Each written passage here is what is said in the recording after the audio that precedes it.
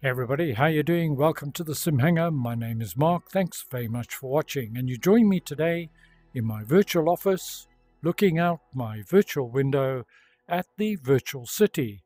I actually have no idea which city this is meant to be. If you do know, it's one of the virtual desktop environments. Let me know in the comments below.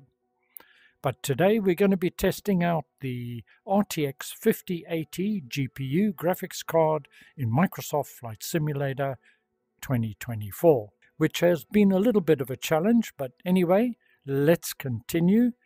I am using the Quest 3 and I am using it wirelessly with Virtual Desktop, which is the favorite way that I like to use the Quest 3.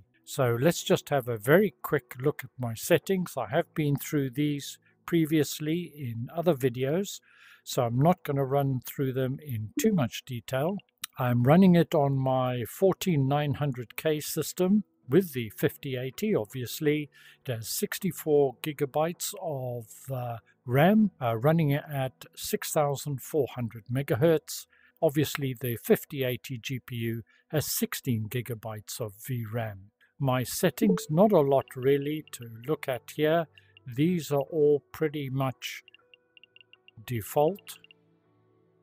On the desktop streaming app for Virtual Desktop, I've set it to automatically adjust bitrate, so this really isn't that critical here. Looking at the streaming settings, I am using it in godlike mode.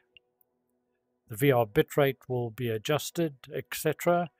The frame rate, I am running my headset at 90 Hertz, so using 90 FPS.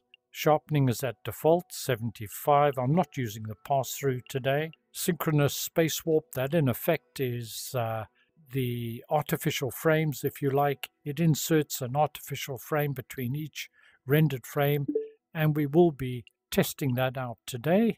But we're going to start off with that disabled. Snapdragon is, to all intents and purposes, does something very similar to what DLSS does in, term, in terms of upscaling. So we'll have that off for the test, and all the rest here are at default with the exception of show performance overlay. I will be showing the performance overlay, and uh, uh, if you press the top button down, the joystick down on both controllers simultaneously, that will show or hide the performance overlay. These are my settings. I am using AV1 10-bit for the Quest 3. It is a little bit harder on the system than the standard uh, HEVC in terms of compression and required computing power, but it does give the best visuals. I'm using Virtual Desktop's implementation of OpenXR, which is VDXR, and everything else is at standard. The only really important thing, automatically adjust the bitrate, make sure that that's ticked, makes things easier for you. We can now start going into free flight and we're going to be in the Cirrus Vision Jet G2 today as I have been more recently. I've done a number of videos and comparisons using that, be in one of my favorite uh, locations, and that's in uh, uh, Tokyo. We're going to be flying over Tokyo and testing the 5080 with various settings. Before we jump into sim, let's just have a very quick look at the settings that we'll be using. VR, VR graphics. We're going to start off in uh, TAA mode. The anti-aliasing will be TAA. Then we'll switch to DLSS Super Resolution. World scale's 110 because I do feel the cockpits are a little bit small. Dynamic settings are off. And the global rendering quality um, is going to be the same for all the tests. I'm not going to run through these in detail. These are the ones I'm using for this test here. I'll just show them so help you make your own assessment. And of course, if your frame rate was particularly good, you would turn those up. And conversely, if not good enough, you could turn some of these settings down to improve performance. In addition to testing it out in DLSS mode, just bring up the virtual desktop memory again. as mentioned, we will also be trying uh, the frame generation, the artificial frame generation using the synchronous time warp. But to start off with, we'll have that disabled. Now time to go fly. Will you join me. We've just departed from the airport. I have my trusty co-pilot with me today. Now, sometimes he appears with his mouth closed and sometimes he appears with his mouth open, which is not a good look. But pleased to see he's behaving himself today. We're on TAA. We're currently getting about uh, between 30 and 32 FPS and latency is in and around the 30 mark, 33 milliseconds, thereabouts. Relatively smooth, but as I look closer and as I look down, I can see there is micro judder in terms of the scenery. 29, 30 FPS.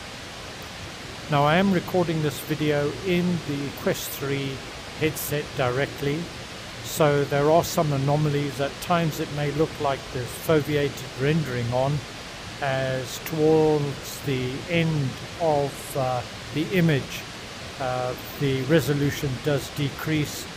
That's not visible in the headset. The MFD for example the map there is uh, quite nice and clear for me I can read it quite easily it may appear a little bit distorted to you, but just make a note that that's actually not the not the case for the actual flight in VR.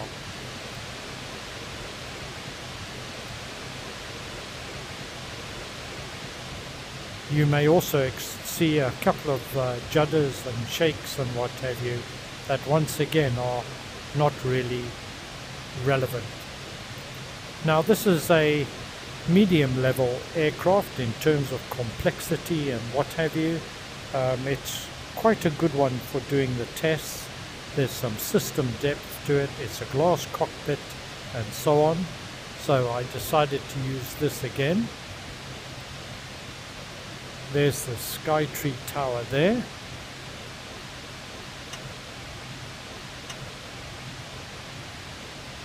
Take off autopilot. 30 FPS, 31 FPS, relatively dense scenery, not doing too bad. Still a little bit of micro judder, but uh, certainly flyable, but it's not perfect. But what we can do now is let's try DLSS and see how that copes.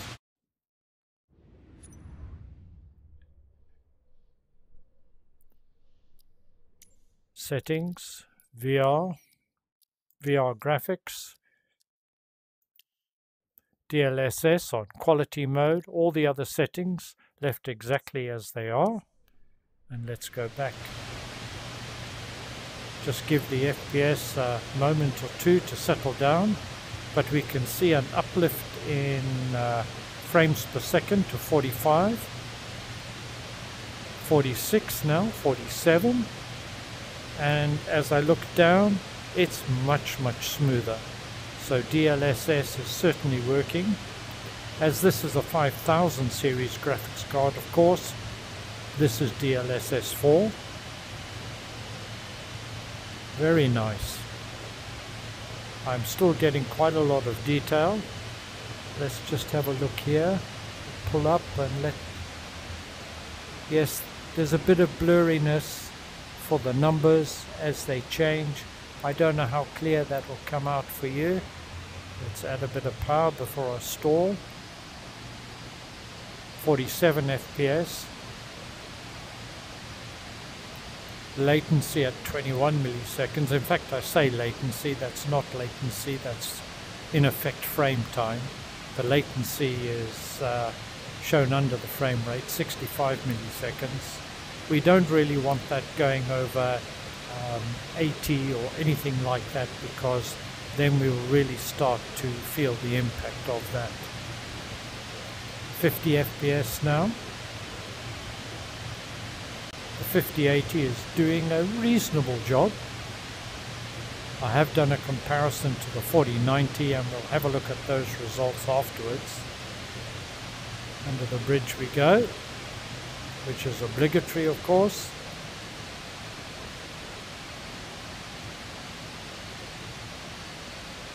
This is actually remarkably smooth. DLSS 4 is definitely an improvement, but not all the problems have been resolved. What we can do now is just try and add in some frame generation and see how that works. So let's once again streaming. We're going to put synchronous time warp to always enabled. Everything else will be left exactly as it was. Hide that menu. And let's head back into VR.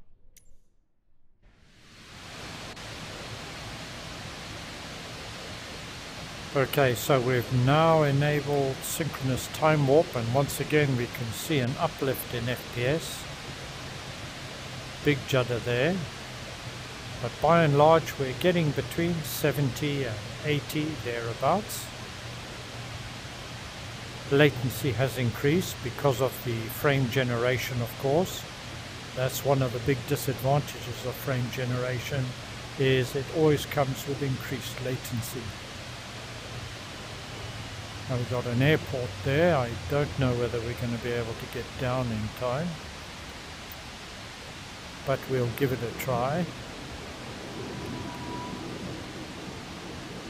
We are very high, but it'll be interesting to see how it takes an approach to an airport.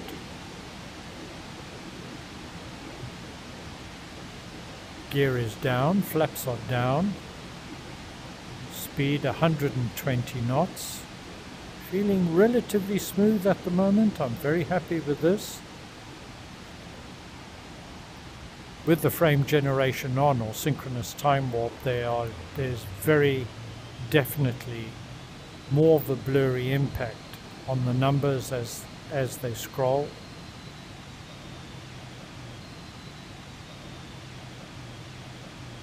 well it looks like we've been able to get down little bit of a long landing but that's okay let that speed wash off nice long runway and we're down.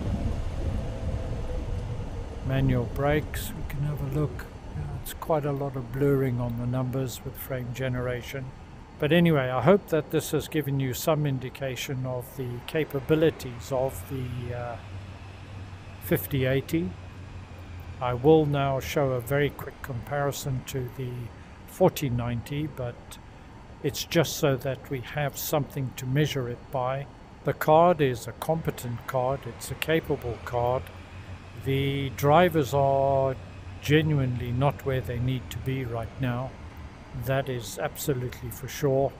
Uh, it is a little bit hit and miss, even with virtual desktop, particularly when you jump in and out of various menus and so on. So hopefully the drivers in the future should improve the performance of it, but this is not intended to be a competitor to the 4090. It really sits just above the 4080 Super.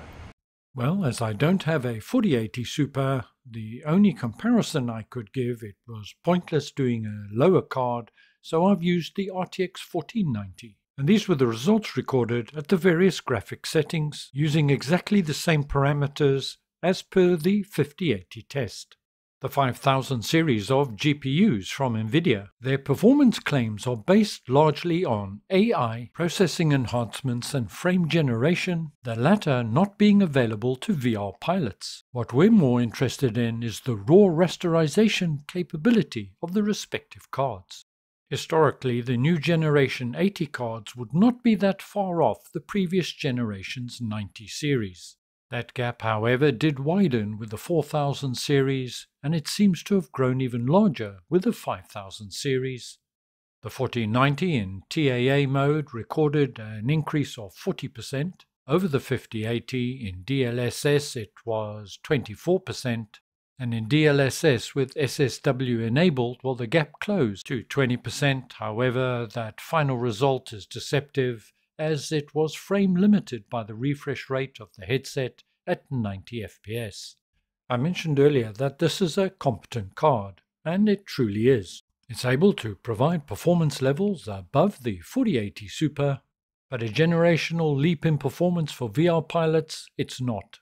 And to be honest, I had expected a little more from the 5080. The value in this card will depend on what you're upgrading from, but already we're seeing that the third party products are considerably more expensive and above the 1000 US dollar mark for the 5080. Does it represent bang for your buck? Well, that largely will depend on the price and availability of the product as well as the availability of the 4080 and 4080 Super in the market. One question that may arise is why didn't I test it with a higher resolution headset? Well, there's two primary reasons. One, the Quest 3 is one of the most popular VR headsets out there for flight simmers. And secondly, there are compatibility issues with the Pimax Crystal, Pimax Crystal Light, Varjo Aero, I believe, so I've just not been able to do a fair test to date. I'll certainly revisit this in the future. The objective of this video was to show you the 5080's capabilities when under load, and it's not in any way designed as a best settings guide. 5090 is on its way to me, waiting for updated drivers before I do a review. And as always, I hope you found it useful and informative. Stay well, look after yourselves. I'll see you all again very soon, and ciao for now.